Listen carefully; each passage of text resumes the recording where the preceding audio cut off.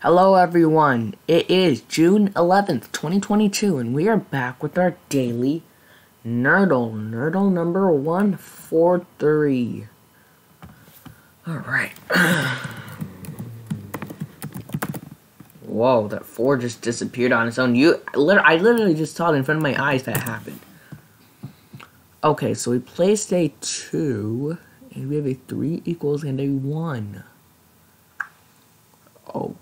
Okay, so could it be something like 21 divided by 3, 7, minus 1, or minus 2, or minus, not, minus 3 will not work.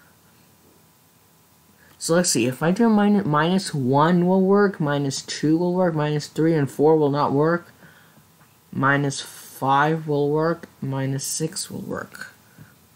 So it's a lot of options. So I'm pretty sure I'm going to fall into that trap whenever I do it. So let's see. Oh. Oh, why is that a minus?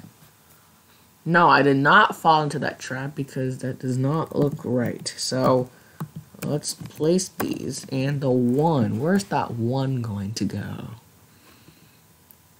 27 divided by 3, that goes in evenly.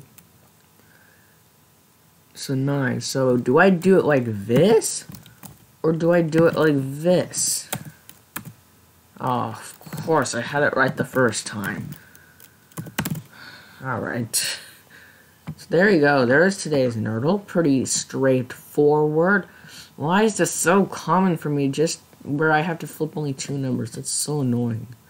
If you want to see more videos, please subscribe. If you have any questions or comments, please put those below. And as always, thanks so much for watching. Bye-bye.